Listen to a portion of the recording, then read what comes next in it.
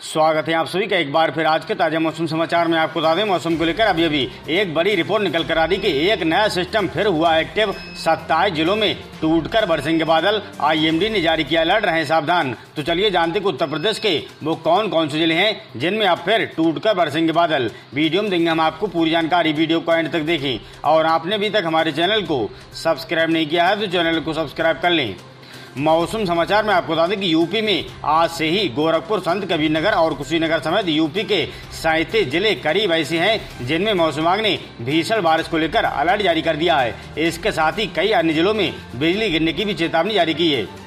मौसम विभाग ने अलर्ट जारी करते हुए बताया कि आज प्रदेश के तराई हिस्सों में गरज चमक साथ भारी से अति भारी बारिश होने की संभावना है। वहीं इस तरह से बारिश का सिलसिला अगले कुछ दिनों तक प्रदेश में बना रहेगा।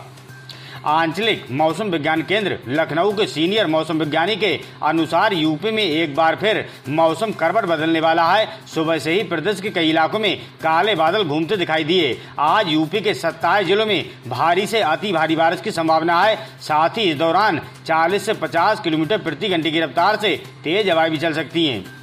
वहीं प्रदेश में अगले दो से तीन दिनों तक मौसम इसी तरह सुहाना बना रहेगा। इसको लेकर मौसम विभाग ने इन जिलों के लिए येलो अलर्ट जारी कर दिया है।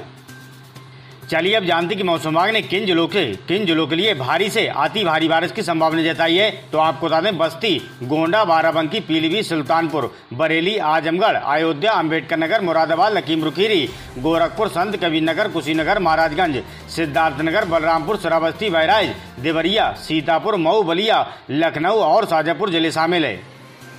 इस बीच आपको बता दें कि ये भी खबर आ रही कि यूपी के वाराणसी में आपको बता दें, इकसठ, सोनभद्र में अड़तालीस लखीमपुर खीरी में तीस, मुरादाबाद में चौंतीस, नजीबाबाद में बारह, हमीरपुर में अठारह, बस्ती में दस, अयोध्या में आठ और सुल्तानपुर में नौ दशमलव आठ मिलीमीटर बारिश समेत प्रदेश के कई जिलों में हल्की से मध्यम बारिश दर्ज की गई। बीते चौबीस घंटों में लखनऊ में चालीस मिलीमीटर बारिश दर्ज की गई।